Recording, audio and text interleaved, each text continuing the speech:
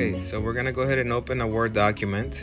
We're gonna press Shift and keep it pressed while you're pressing underscore. Underscore should be next to the number zero.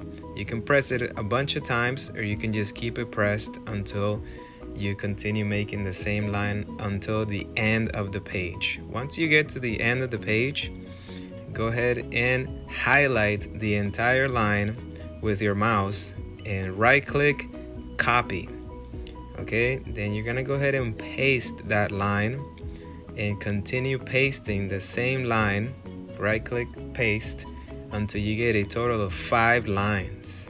After you have five lines you want to select all the five lines with your mouse and you're going to press copy and then you're going to deselect and you're going to press return two three times down to have some space and you're gonna paste it.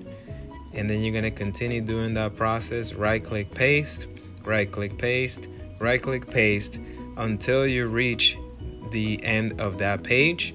And all you need to do is one page. And once you have that one page with multiple staff lines you're gonna go you want to go ahead and about 15 to 20 copies because this is what you're gonna need to take notes in band class all right, I hope this helped.